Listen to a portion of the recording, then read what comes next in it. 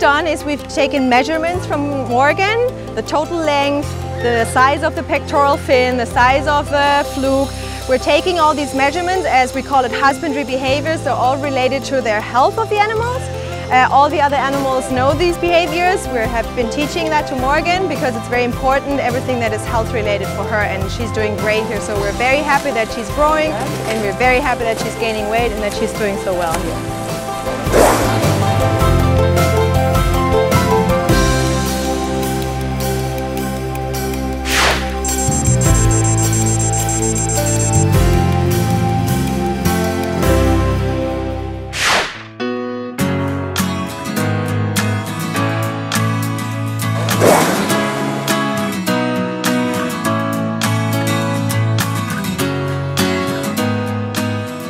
Another very important husbandry behavior that we are right now training is that she is peeing on SD. That means that we need to have urine from her in a cup that, so we can have a sample of it. And we hope that very soon we'll have a sample in order to follow her hormonic cycle. Um, the other two girls, they know it already.